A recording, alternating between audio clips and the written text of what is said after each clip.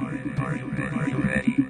hair is kind of is that. Is it on the cut?